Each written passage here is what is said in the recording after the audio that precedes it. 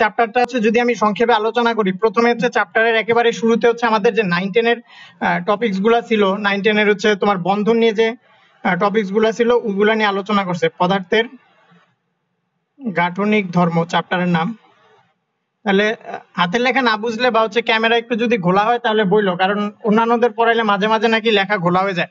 লেখা না বুঝলে বলল ভাইয়া বা স্যার লেখা বোঝা যায় না। এরকম বললে এরপর হচ্ছে আমি একটু ঠিক করার চেষ্টা করব আর কি। তাহলে পদার্থের গাঠনিক ধর্ম চ্যাপ্টারটা যদি পুরা একসাথে পুরোটা আলোচনা করি, তাহলে শুরুতে আছে হচ্ছে তোমার পদার্থ আসলে কি দিয়ে তৈরি? হুম? তাহলে পদার্থ কয় প্রকার হতে পারে? পদার্থ কি দিয়ে তৈরি? অণু বা পরমাণু দিয়ে পদার্থ তৈরি। অণু, পরমাণু একসাথে মানে অনেকগুলা পরমাণু মিলে একটা অণু তৈরি হয় বা দুইটা পরমাণু মিলে একটা অণু তৈরি হয়। অণু, অনেকগুলো অণু মিলে একটা পদার্থ তৈরি হয়। আমরা তো এগুলো আগেই জানি নাইনটিনে জানতাম। তাহলে শুরুতে হচ্ছে আসলে পদার্থ কি দিয়ে তৈরি? পদার্থ কয় প্রকার? কঠিন তরল, বায়বীয় তিন ধরনের পদার্থ আছে, এটা বলছে। তারপরে আছে হচ্ছে তোমার কীভাবে পদার্থ থেকে তোমার একটা বড় মানে হচ্ছে দুইটা পদার্থ বা দুইটা পরমাণু কীভাবে একসাথে যুক্ত হয়, এটা কোন ধরনের বন্ধনের মাধ্যমে যুক্ত হয়, অর্থাৎ বন্ধনের প্রকারভেদ, এটাও আমরা নাইন টেনে পড়ছিলাম। তো বন্ধন কয় প্রকার পড়ছিলাম নাইন টেনে বন্ধন দুই প্রকার। আয়নিক বন্ধন, সমযোজী বন্ধন আর কি, ধাতব বন্ধন। ধাতব ধাতব বন্ধন, আয়নিক বন্ধন, সমযোজী বন্ধন, ধাতব বন্ধন। আর কি কি বন্ধন ছিল বলতো সন্নিবেশ, সমযোজী বন্ধন, এটা নাম শুনছো? কেমিস্ট্রিতে শুনছিলাম মনে হয় না? সন্নিবেশ, সমযোজী বন্ধন, এটা এটা শুনছিলাম আরেকটা আছে ভ্যান্ডারওয়ালস বন্ধন। ভ্যান্ডারওয়ালস বন্ধন আছে। আচ্ছা ঠিক আছে। তাহলে বন্ধন হচ্ছে যদি এমনি প্রকারভেদ বলো, অনেক ধরনের বন্ধন আছে বাট মেইনলি যদি আমরা প্রকাশ করি আমরা এখানে হচ্ছে পাঁচ ধরনের বন্ধন নিয়ে আলোচনা করব, ঠিক আছে? তাহলে পাঁচটা বন্ধন নিয়ে আলোচনা করব। তারপরে তারপরে আছে হচ্ছে আমরা নাইন টেনে পড়ছিলাম, স্থিতিস্থাপকতা নিয়ে পড়ছিলাম, হুকের সূত্র, মনে আছে? হ্যাঁ পীড়ন সমানুপাতিক বিকৃতি, পীড়ন সমানুপাতিক বিকৃতি। এটা হচ্ছে তোমার পদার্থের মধ্যেই পড়ে। পদার্থের প্রপার্টি মানে এই চ্যাপ্টারটাতে হচ্ছে পদার্থের প্রপার্টি নিয়ে আলোচনা করা হয়েছে আর কি।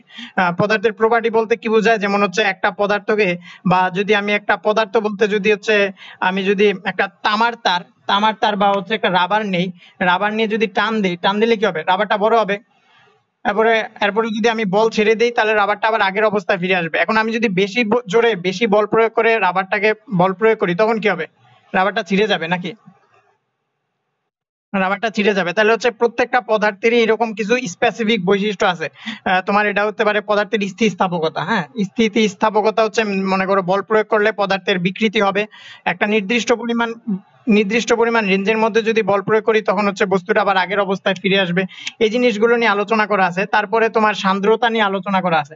আচ্ছা সান্দ্রতা বলতে হচ্ছে কি বোঝায়? সান্দ্রতা, এই বিষয়গুলো হচ্ছে আমি যখন মানে বিস্তারিত পড়ানো শুরু করব, তখন হচ্ছে বুঝবা মানে নাইন টেন পর্যন্ত যদি বলি নাইন টেন পর্যন্ত তুমি যে জিনিসগুলো শুনে আসছো তখন যেগুলা বললাম, ওই যে অনুপরমাণু নিয়ে পদার্থ গঠিত হয়, পদার্থ তিন প্রকার, কঠিন তরল বায়ুবীয় পদার্থের তিনটা অবস্থা, তারপরে পদার্থের বন্ধন স্থিতিস্থাপকতা এই জিনিসগুলো হচ্ছে আমরা নাইন টেনে পড়ছি এই জিনিসগুলো একটু বিস্তারিত আকারে এখানে আছে। তাহলে আমরা আজকে লেকচারটা শুরু করি, আহ, শুরুতে হচ্ছে তাহলে আছে তোমার সূচনাতে তো বলে বলে ফেলছি। সূচনাতে ছিল কি? সূচনাতে পদার্থের বিস্তারিত নিয়ে আলোচনা করা হয়েছে। যেমন হচ্ছে দুইটা পরমাণু মিলে একটা অণু তৈরি হয়। পরমাণু প্লাস পরমাণু। এটা নিয়ে হচ্ছে অণু তৈরি হবে। তারপরে অণুর মধ্যে কি হবে? পরমাণুর সাথে হচ্ছে পরমাণুর মধ্যে বন্ধন তৈরি হতে পারে। পরমাণু পরমাণু মিলে বন্ধন তৈরি হতে পারে, বন্ধন আবার অনেক ধরনের হতে পারে, ধাতব বন্ধন, সমযোজী বন্ধন, আয়নিক বন্ধন, এরকম বিভিন্ন ধরনের বন্ধন হতে পারে, ঠিক আছে?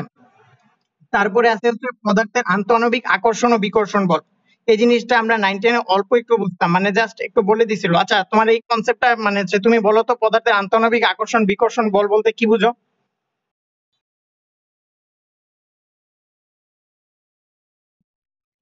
আচ্ছা পদার্থের আন্তঃআণবিক আকর্ষণ বল। আকর্ষণ ও বিকর্ষণ বল। আচ্ছা এটা ভুলে গেছো না? আচ্ছা ঠিক আছে।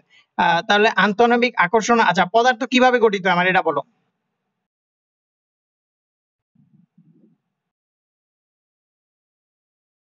হ্যাঁ অনুপরমাণু নিয়ে গঠিত। অনুপরমাণু কীভাবে? মানে অনুপরমাণু কি? এক জায়গায় মানে তারা অণু আর পরমাণু, এখানে যোগ, অনুপরমাণু নিয়ে গঠিত হয় না? পরমাণু পরমাণু নিয়ে গঠিত হয়?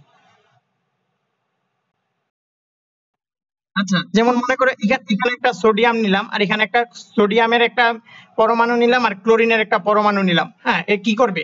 বসে থাকবে? তারা দুজন আলাদা আলাদা বসে থাকবে? বিক্রিয়া করবে কীভাবে? সোডিয়াম কি করবে? সোডিয়ামের সে প্রত্যেকটা পদার্থ কি চায়? তার নিকটস্থ নিষ্ক্রিয় গ্যাসের ইলেকট্রন বিন্যাস অর্জন করার জন্য। অর্থাৎ স্থিতিশীল হওয়ার জন্য। প্রত্যেকটা পদার্থ চায় স্থিতিশীল হওয়ার জন্য। কেন স্থিতিশীল হওয়ার জন্য চায়? অস্থিতিশীল অবস্থায় সমস্যা কি তাদের?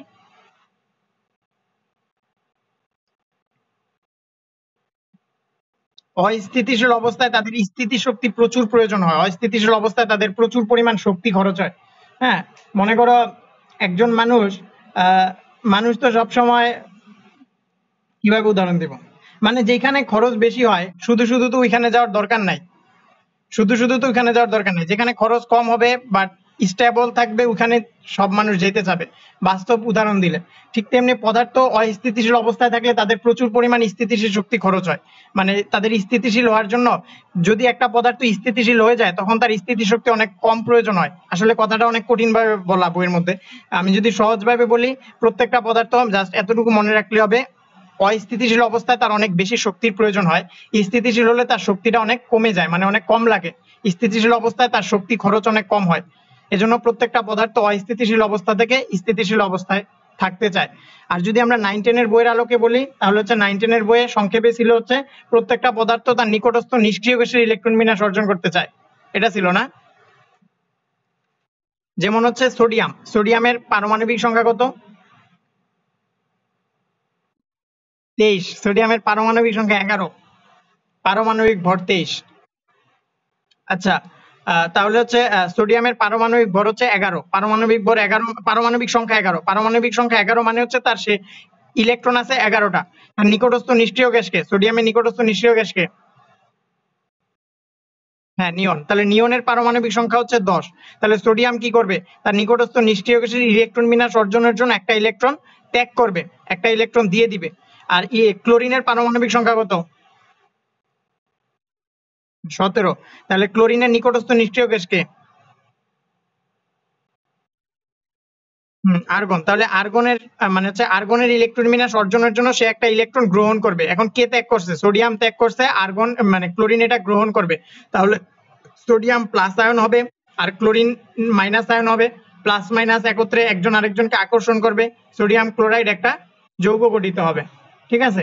এভাবে হচ্ছে আসলে একটা মেইনলি কি? মেইনলি হচ্ছে অস্থিতিশীল অবস্থা থেকে স্থিতিশীল অবস্থা অর্জনের জন্য বা হচ্ছে স্টেবল হওয়ার জন্য তারা কি করে? রাসায়নিক বন্ধন গঠন করে। বুঝছ জিনিসটা? আচ্ছা তাহলে রাসায়নিক বন্ধন গঠন করে। তারপরে হচ্ছে আমরা যদি তাহলে এবার আমরা আন্তঃনবিক আকর্ষণ বল, বিকর্ষণ বলের কথা বলতে যাচ্ছিলাম তাহলে আন্তঃনবিক আকর্ষণ বল, বিকর্ষণ বলটা কি? মানে আমরা তো জানি হচ্ছে প্রত্যেকটা পদার্থ প্রত্যেকটা পদার্থ কি অনুপরমাণু দ্বারা গঠিত? হ্যাঁ আমি ধরলাম এটা একটা পদার্থ, এটা কাঠ ধরলাম, কাঠ। কাঠ কি কঠিন পদার্থ? কাঠ কি কঠিন না? আচ্ছা একটা তরল পদার্থের উদাহরণ দাও। পানি আচ্ছা ওয়াটার ওকে তাহলে পানি পানি হচ্ছে একটা তরল পদার্থ, আর বায়ুবীয় বাতাস। বাতাস আসলে অ্যাকচুয়ালি বায়ুবীয় না। তুমি অক্সিজেন বলতে পারো, গ্যাসীয় হাইড্রোজেন বলতে পারো। বাতাস বলা যাবে আচ্ছা পানি, জলীয় বাষ্প। H two aqueous H two হচ্ছে তোমার কি জলীয় বাষ্প? এটা হচ্ছে জলীয় বাষ্প বললে আমি কি বলব? বায়ু এয়ার এয়ার বলি যেখানে জলীয় বাষ্প আছে।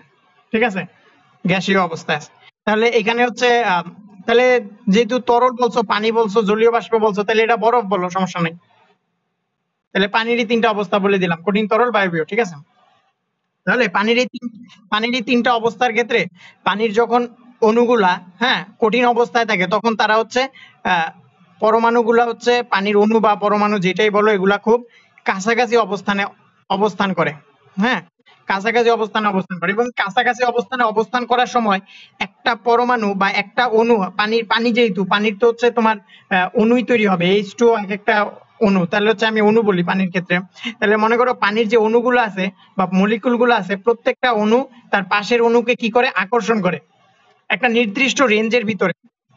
একটা নির্দিষ্ট রেঞ্জের ভিতরে। এটা যদি আমি এরকম একটা চিত্র দেই হ্যাঁ এই যেখানে হচ্ছে এই দিকে হচ্ছে তোমার এই যে পানির অণুগুলো আছে না, অণুগুলার একটার থেকে আরেকটার মধ্যবর্তী দূরত্ব, ঠিক আছে? এই দিক বরাবর হচ্ছে অণুর মধ্যকার দূরত্ব, যেটাকে আমরা আর দ্বারা প্রকাশ করব, ঠিক আছে? মনে করো, খাতায় কি তুলতেছো লেখাগুলা?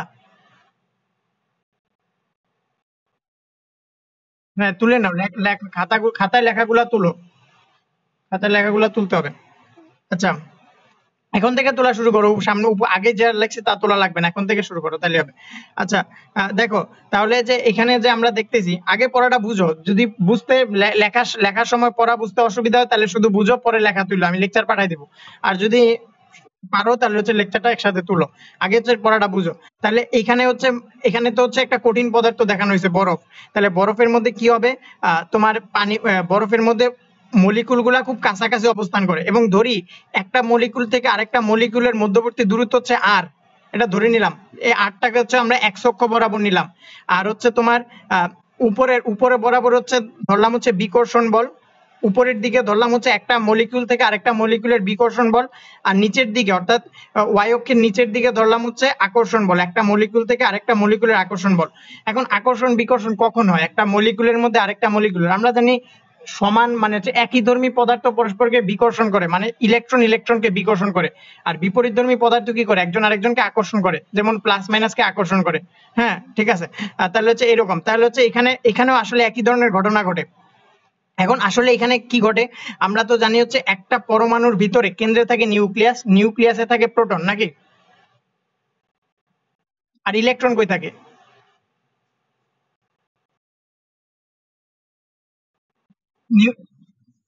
নিউক্লিয়াসে থাকে না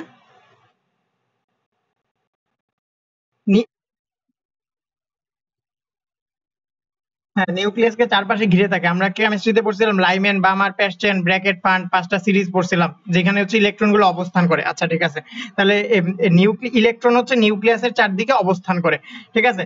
তাহলে ইলেকট্রন প্রত্যেকটা পরমাণুতে তো ইলেকট্রন নিউক্লিয়াসের চারদিকে অবস্থান করে, বাইরের কক্ষপথে অবস্থান করে, আর কি করে? কেন্দ্রে অবস্থান করে।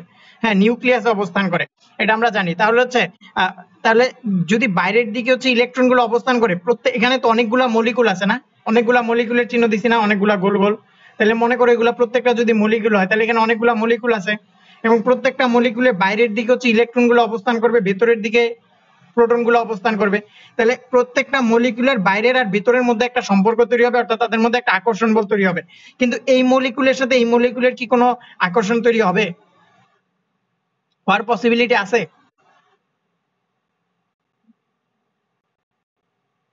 চিন্তা করে বলো, আছে কিনা?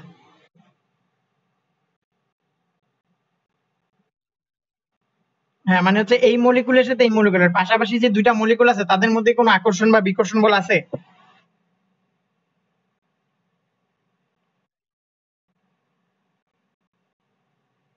কি মনে হয়? নাই? আচ্ছা এটা হচ্ছে বিজ্ঞানীরাও হ্যাঁ বিজ্ঞানীরাও এই আনসার দিতে হচ্ছে অনেক মানে হচ্ছে অনেক দ্বিধান্বিত ছিল। এজন্য তাদের আনসারটাও এরকমই। মানে হচ্ছে চিন্তা করে অনেকক্ষণ বলতে হয়। তুমি ওই রকম বিজ্ঞানীর মতোই করতেছো। আচ্ছা ধরে নেওয়া হচ্ছে তোমার এখানে আকর্ষণ বল আকর্ষণ বল নাই, নাকি? আকর্ষণ বল নাই। তাদের মধ্যে আকর্ষণ বল নাই। আকর্ষণ বল নাই মানে বিকর্ষণ বল আছে। আর আকর্ষণ বল আছে মানে বিকর্ষণ বল নাই। এরকম যে কোনো একটা কিছু হবে। তাহলে এইখানে হচ্ছে তোমার বলছে এখন আমি যদি নর্মাল যুক্তি দিয়ে চিন্তা করি জেনারেলি নর্মাল যুক্তি দিয়ে চিন্তা করি, এই মৌলের শেষ শক্তি স্তরে ইলেকট্রন আছে, এই মৌলেরও শেষ শক্তি স্তরে ইলেকট্রন আছে। এখন ইলেকট্রন ইলেকট্রন কি করে? পরস্পরকে বিকর্ষণ করে। তাহলে তাদের মধ্যে পরস্পর বিকর্ষণ শক্তি, বিকর্ষণ থাকার কথা। এখন আবার আমরা জানি কঠিন পদার্থের কি ক্ষেত্রে কি হয়? কঠিন পদার্থের ক্ষেত্রে তাদের অণুগুলা খুব কাছাকাছি অবস্থান করে। এটা তো আমরা জানি। একটা পদার্থের প্রপার্টি থেকে আমরা জানি কঠিন পদার্থের ক্ষেত্রে অণু বা মলিকুলগুলা খুব কাছাকাছি অবস্থান করে। তরল পদার্থের ক্ষেত্রে মলিকুলগুলা একটু দূরে দূরে অবস্থান করে। বায়বীয় পদার্থের ক্ষেত্রে মলিকুল অনেক দূরে দূরে অবস্থান করে। এটা আমরা প্রপার্টি থেকে জানি। তাহলে এখানে আসলে কি ঘটনাটা ঘটে? এটা হচ্ছে আমার দেখার বিষয়। তাহলে এখানে দেখো এখন হচ্ছে বিজ্ঞানীরা যদি মলিকুল মলিকুল কেমিস্ট্রি আছে মলিকুল মলিকুলার কেমিস্ট্রি ওখানে হচ্ছে বিজ্ঞানীরা অনেক গবেষণা করে বের করছে একটা নির্দিষ্ট দূরত্ব, অর্থাৎ এই পরমাণু থেকে এই পরমাণু, দুইটা যে পরমাণু আছে বা দুইটা মলিকুল বা অণু আছে, এই অণু থেকে এই অণুর মধ্যকার একটা নির্দিষ্ট দূরত্ব আছে, ওই নির্দিষ্ট দূরত্বে আকর্ষণ আর বিকর্ষণটা সমান হয়। জিনিসটা বুঝছ? মনে করো এই পরমাণু আর এই পরমাণু, এই দুইটা পরমাণুর মধ্যে একটা নির্দিষ্ট দূরত্ব আছে ওই নির্দিষ্ট দূরত্ব হচ্ছে তাদের মধ্যে আকর্ষণটা কি হয়? সমান হয়। ঠিক আছে? মনে করো নির্দিষ্ট দূরত্বটা পয়েন্ট টু মাইক্রন মাইক্রন তো বুঝো? মাইক্রো মানে কত? Ten to the power minus six ten to the power minus six metre ten to the power minus six metre অনেক ক্ষুদ্র। তাহলে মনে করো এরকম পয়েন্ট টু মাইক্রন হ্যাঁ? এরকম একটা একটা নির্দিষ্ট দূরত্বে পরমাণু, এই পরমাণু, এই পরমাণুর মধ্যকার আকর্ষণ কি হয়? আকর্ষণটা সমান থাকে। হ্যাঁ? এই সমানটা হচ্ছে আমরা এখানে দিলাম। এদিকে তো আর আর মানে কি বলতো এই আর দ্বারা আমরা কি বুঝাইছি? কার মধ্যবর্তী দূরত্ব?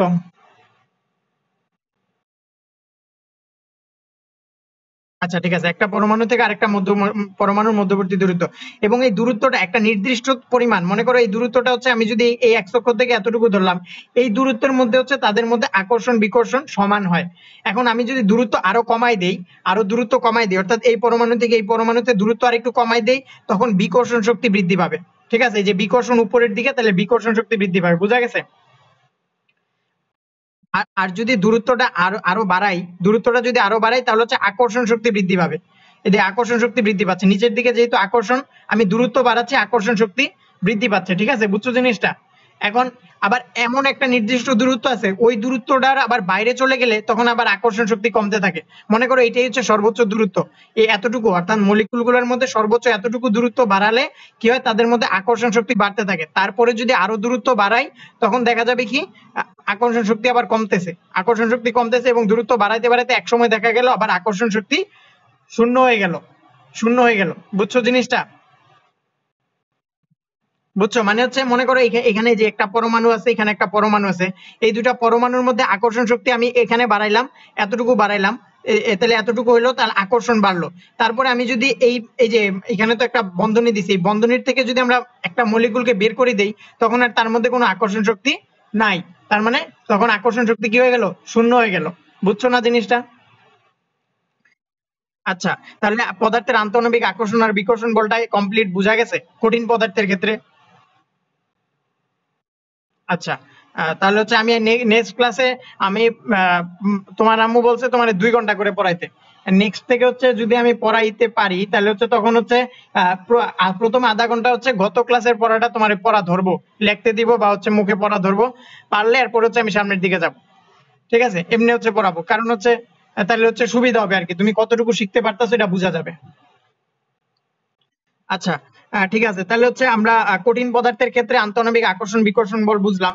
তরল পদার্থের ক্ষেত্রে কি হয়? তরল পদার্থের ক্ষেত্রেও তোমার অণু পরমাণু দিয়ে গঠিত হয় এবং তাদের মধ্যকার দূরত্বগুলা কি হয়? দূরত্বগুলা মোটামুটি দূরে দূরে থাকে, এরকম থাকে। তরল পদার্থের ক্ষেত্রে দূরত্বগুলা মোটামুটি দূরে দূরে থাকে এবং হচ্ছে তাদের মধ্যে কি আকর্ষণ বল থাকে? পরমাণু, অণু পরমাণুর মধ্যে আকর্ষণ বল থাকে? যেখানে যে পরমাণু আছে, তাদের মধ্যে কোনো আকর্ষণ বল আছে? আকর্ষণ বল নাই, আকর্ষণ বল না থাকলে এটা তরল হবে কীভাবে? এটা তো তোমার বায়ুই থাকবে মানে হচ্ছে এটা তো কোনো কিছুই গঠিত হবে না, পরমাণুই থাকবে। আকর্ষণ বল না থাকলে বন্ধন গঠিত হবে, একটা পদার্থ গঠিত হবে হবে না তো। আকর্ষণ বল তো আছে, আকর্ষণ বল আছে, থাকবে না কেন? আকর্ষণ বল আছে, বায়ুবীয় পদার্থের মধ্যে আকর্ষণ বল আছে এবং খুব কম, নেই বললেই চলে। এরকম এরকম দূরে দূরে থাকে, আকর্ষণ বল আছে এবং খুবই কম। এখানেও আকর্ষণ বল আছে, এখানে সবচেয়ে বেশি আকর্ষণ বল আছে। কঠিন পদার্থের আরেকটা বৈশিষ্ট্য কি? এই যে তোমার এই পরমাণু বা অণুগুলো আছে তাদের মধ্যে কিন্তু এই অবস্থায় কি? আকর্ষণ, বিকর্ষণ নাই। বাট হচ্ছে একটা কি? একটা বন্ধন দ্বারা তারা সংযুক্ত আছে। এই বন্ধনটাকে কি বলে? কঠিন পদার্থের ক্ষেত্রে ম্যাক্সিমাম ক্ষেত্রে কোন ধরনের বন্ধন গঠিত হয়? আয়নিক বন্ধন গঠিত হয়। অর্থাৎ প্লাস মাইনাস আয়ন আকারে তারা থাকে। অর্থাৎ তারা ছেড়ে যাবে না একজন আরেকজনকে, একটা নির্দিষ্ট অবস্থানে অবস্থান করবে, কিন্তু দূরত্ব বেড়ে গেলে তারা আকর্ষণ শুরু করে দিবে, কান্নাকাটি শুরু করে দিবে, কাছাকাছি যাওয়ার জন্য। আবার বেশি কাছে গেলে আবার বিকর্ষণ করা শুরু করে দিবে। কঠিন পদার্থের ক্ষেত্রে এরকম হবে। বুঝো নাই? মানে এরকম হয়। কঠিন পদার্থের আর এই যে এই যে এখানে যে অবস্থান করতেছে, কঠিন পদার্থগুলো যে এখানে অবস্থান করতেছে, এখানে কি করে? তারা হচ্ছে কম্পমান অবস্থায় থাকে, অর্থাৎ নির্দিষ্ট অবস্থায় থেকে কাঁপতে থাকে। কঠিন পদার্থের আরেকটা গুরুত্বপূর্ণ বৈশিষ্ট্য হচ্ছে, কঠিন পদার্থের পরমাণু বা অণুগুলো নির্দিষ্ট অবস্থানে থেকে কম্পিত অবস্থায় থাকে এবং যখন আমি তাপ বাড়াবো, কঠিন পদার্থের যখন আমি তাপ দিব, তাপ দিলে কি হবে? অণুগুলোর গতিশীলতা বৃদ্ধি পাবে। অর্থাৎ তারা পরস্পর আরও বেশি গতিশীল হতে থাকবে। তাহলে গতিশীল হতে থাকলে কি হবে? অণুগুলো একজন আরেকজনকে ধাক্কা দিবে। একজন আরেকজনকে ধাক্কা দিবে, ধাক্কা দিলে তারা, তাদের যে একটা আয়তন ছিল, ওই আয়তনটা বাড়তে থাকবে। তখন হচ্ছে তাদের আয়তনটা বড় হয়ে যাবে। তাহলে কঠিন পদার্থের আরেকটা গুরুত্বপূর্ণ বৈশিষ্ট্য, কঠিন পদার্থকে তাপ দিলে কি হয়? আয়তন বাড়ে। বুঝছ জিনিসটা? আচ্ছা তার তরল পদার্থের ক্ষেত্রে কি আছে? আকর্ষণ বল আছে। বাট আকর্ষণ বলটা কঠিন পদার্থের মতো, যেরকম আকর্ষণ বল, তরল পদার্থের ক্ষেত্রে আকর্ষণ বলটা তার চেয়ে আর একটু কম। বাট তরল পদার্থের মধ্যে আকর্ষণ আছে এবং তরল পদার্থের প্রপার্টির মধ্যে ওই একই রকম। একটা নির্দিষ্ট পরিমাণ দূরত্বে তাদের হচ্ছে মানে আকর্ষণ, বিকর্ষণ সমান থাকে। ওই দূরত্বটা কমাই দিলে তাদের মধ্যে বিকর্ষণ বাড়তে থাকে এবং দূরত্ব যদি বাড়াই দিই তাহলে হচ্ছে আকর্ষণ বাড়তে থাকে। বাট কঠিন পদার্থের মতো অত স্ট্রং না। আকর্ষণ শক্তিটা অত স্ট্রং না, যার কারণে তারা তরল অবস্থায় অবস্থান করে। বুঝছ? আর বায়বীয় পদার্থের মধ্যে আচ্ছা আর আরেকটা আছে, কঠিন পদার্থের বৈশিষ্ট্য যখন বলতেছি, একমাত্র কঠিন পদার্থেরই স্থিতি স্থাপকতা আছে। স্থিতি স্থাপকতা জিনিসটা কি? অর্থাৎ টান দিলে বড় হবে, ছেড়ে দিলে আগের অবস্থানে ফিরে আসবে। অর্থাৎ কঠিন পদার্থের কি আছে? আকারও আছে, আয়তনও আছে। আকার, আয়তন দুইটাই আছে।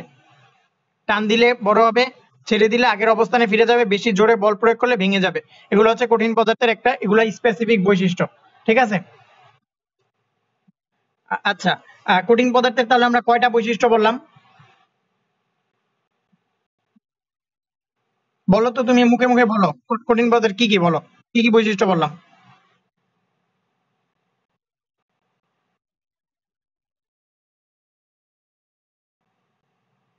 তাপ দিলে আয়তন বাড়ে, তাপ দিলে আয়তন বাড়ে। আর হচ্ছে কি বললাম, তাদের মধ্যে স্ট্রং শক্তিশালী আকর্ষণ বল বিদ্যমান থাকে। মানে হচ্ছে নির্দিষ্ট দূরত্ব কমালে বিকর্ষণ বাড়ে এবং নির্দিষ্ট দূরত্ব থেকে বাড়ালে আকর্ষণ বাড়ে এবং হচ্ছে আরও বেশি দূরত্ব বাড়ালে আকর্ষণ শূন্য হয়ে যায়। হ্যাঁ? তাহলে একটা হচ্ছে তাপ দিলে তাপ দিলে আয়তন বৃদ্ধি পাবে। এক নাম্বার বৈশিষ্ট্য। দুই নাম্বার বৈশিষ্ট্য হচ্ছে আকর্ষণ বিকর্ষণের কথা। তিন নাম্বার বৈশিষ্ট্য কি বলছি? তারা হচ্ছে নির্দিষ্ট অবস্থায় থেকে কি গতিশীল মানে নির্দিষ্ট অবস্থায় থেকে কাঁপতে থাকে। নির্দিষ্ট অবস্থা থেকে কাঁপতে থাকে। তাহলে হচ্ছে তিনটা বৈশিষ্ট্য বললাম, কঠিন পদার্থের ক্ষেত্রে। তরল পদার্থের ক্ষেত্রে কয়টা বৈশিষ্ট্য বললাম? তরল পদার্থের কি আছে? আকার নাই। যে পাত্রে যে পাত্রে দিব, সেই পাত্রে আকার ধারণ করবে। তরল পদার্থের কোনো আকার নাই। আকার নাই। তরল পদার্থের আন্তনবিক আকর্ষণ বল আর বিকর্ষণ বল আছে বাট কঠিন পদার্থের মতো অত স্ট্রং না, কম। আন্তনবিক আকর্ষণ বিকর্ষণ বলের মান কম তরল পদার্থের ক্ষেত্রে।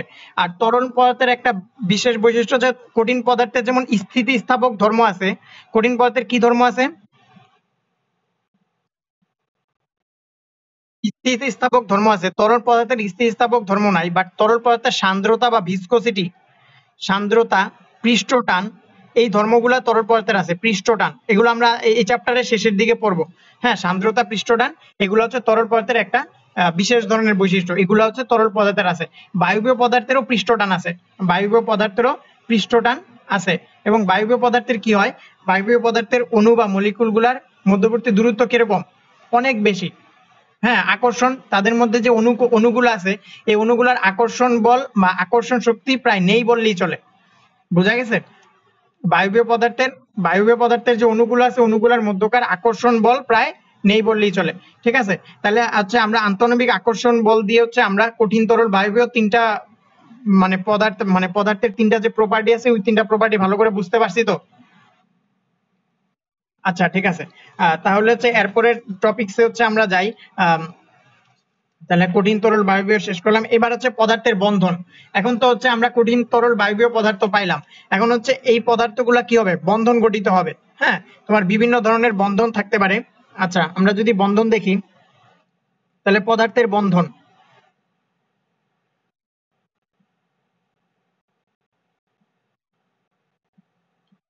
পদার্থের বন্ধনের মধ্যে, এখন পদার্থের বন্ধন কেন গঠিত আমরা আগে বলে ফেলছি না। পদার্থের বন্ধন কেন গঠিত হয়? বলো তো আবার।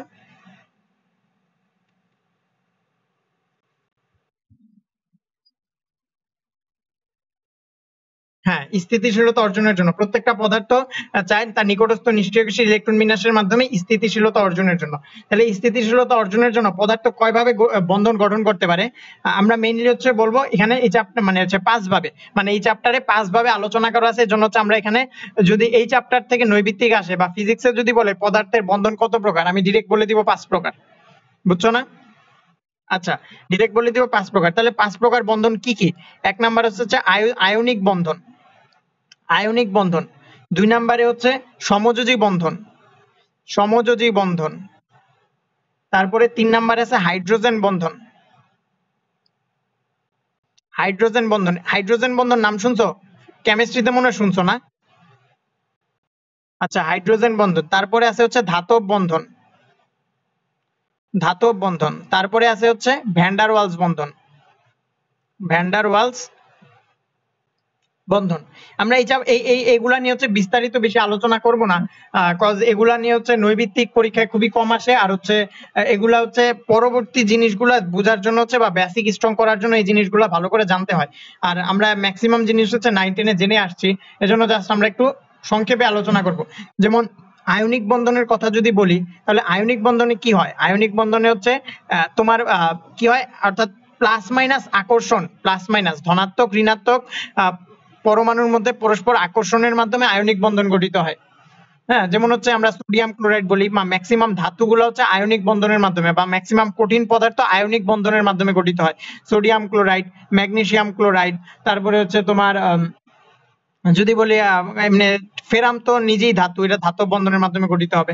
বাট ম্যাক্সিমাম কঠিন পদার্থগুলো হচ্ছে তোমার কি হয়? আয়নিক বন্ধনের মাধ্যমে গঠিত হয়। তাহলে আয়নিক বন্ধনের কিছু বৈশিষ্ট্য আছে। হ্যাঁ আয়নিক বন্ধনের তোমার কিছু বৈশিষ্ট্য আছে, যেমন হচ্ছে আয়নিক বন্ধন অনেক শক্তিশালী হয় এবং হচ্ছে তাদের গলনাঙ্ক স্ফুটনাঙ্ক অনেক বেশি হয়। যেহেতু তাদের মধ্যে আকর্ষণ বলটা অনেক বেশি হয়, তাদেরকে ভাঙতে অনেক বেশি শক্তির প্রয়োজন হবে, এজন্য তাদের গলনাঙ্ক স্ফুটনাঙ্ক অনেক বেশি হয়। এটা হচ্ছে আয়নিক বন্ধনের একটা বৈশিষ্ট্য, বুঝছ না?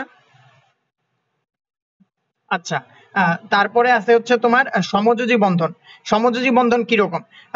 সমযোজী বন্ধন হচ্ছে, সমযোজী বন্ধন কাকে বলে? যদি বলি সমযোজী বন্ধন কাকে বলে? তাহলে ইলেকট্রন শেয়ারের মাধ্যমে হচ্ছে সমযোজী বন্ধন গঠিত হয়। জানতাম নাকি? আচ্ছা ইলেকট্রন শেয়ারের মাধ্যমে হচ্ছে সমযোজী বন্ধন গঠিত এখন ইলেকট্রন শেয়ার করে কারা? যেমন হচ্ছে ক্লোরিন একটা ক্লোরিন আরেকটা ক্লোরিনের সাথে যুক্ত হবে। এখন একটা ক্লোরিন আরেকটা ক্লোরিনের সাথে যুক্ত হলে শেষ শক্তি স্তরে তারা একটা একটা ইলেকট্রন শেয়ার করে, নিকটস্থ কোষে ইলেকট্রন বিন্যাস অর্জন করে। তাহলে হচ্ছে এখানে ইলেকট্রন শেয়ার করতেছে। এখন যেহেতু হচ্ছে ইলেকট্রন শেয়ার করতেছে, তার তার কারণে হচ্ছে তাদের মধ্যে হচ্ছে যে একটা যে শক্তি বন্ধন থাকে, বন্ধনটা অতটা শক্তিশালী হয় না। যার কারণে হচ্ছে তারা অনেকটা ভঙ্গুর। মানে হচ্ছে ক্লোরিন তো গ্যাস। গ্যাস তো আর বলাই লাগে না। গ্যাস হচ্ছে অনেক কম দুর্বল শক্তি সম্পন্ন। বাট আমরা যদি হচ্ছে বলি তোমার যদি সমযোজী বন্ধনের একটা উদাহরণ দেই যেমন হচ্ছে, কি বলব? যেমন, বিশেষ করে হচ্ছে জৈব যৌগ পদার্থগুলা, জৈব যৌগ পদার্থ C six H twelve O six হ্যাঁ বেনজিন যেটা বলি। বেনজিন বলি বা বিভিন্ন ধরনের জৈব পদার্থ জৈব পদার্থগুলা মেনলি হচ্ছে সমযোজী বন্ধনের মাধ্যমে গঠিত হয় বা হচ্ছে তোমার অধাতব পদার্থগুলা, যেগুলা ধাতব না, অধাতব পদার্থগুলা সমযোজী বন্ধনের মাধ্যমে ইলেকট্রন শেয়ারের মাধ্যমে কি করে? বন্ধন গঠন করে, ঠিক আছে? আর হচ্ছে আচ্ছা যোজ্যতা ইলেকট্রন কাকে বলে বলতে পারো?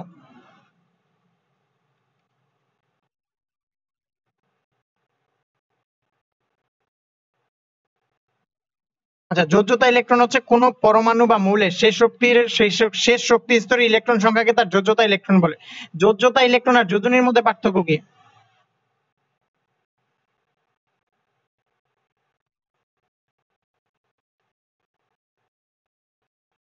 পারবা? যোজ্যতা ইলেকট্রন আর যোজনীর মধ্যে পার্থক্য? আচ্ছা যোজ্যতা ইলেকট্রন কি বললাম মাত্র?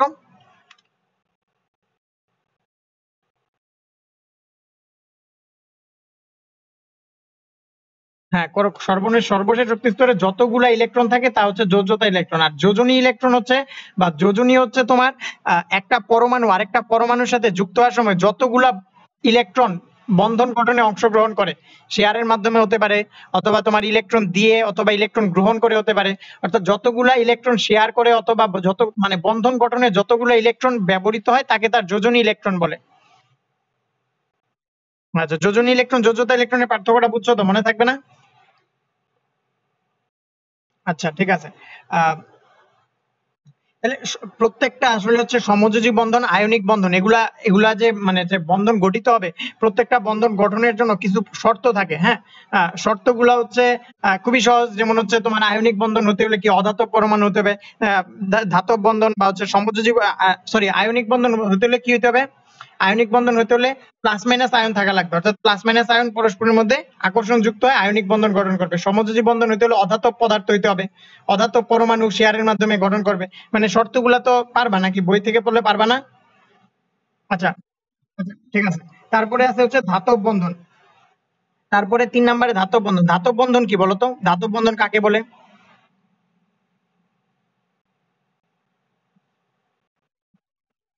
আচ্ছা ধাতব বন্ধন জানো না আচ্ছা ধাতব বন্ধন হচ্ছে ধাতুতে ধাতুতে যে বন্ধন গঠিত হয় তাকে ধাতব বন্ধন বলে। অর্থাৎ একটা ধাতু আরেকটা ধাতুর সাথে পরস্পর যে বন্ধন দ্বারা যুক্ত থাকে তাকে ধাতব বন্ধন বলে।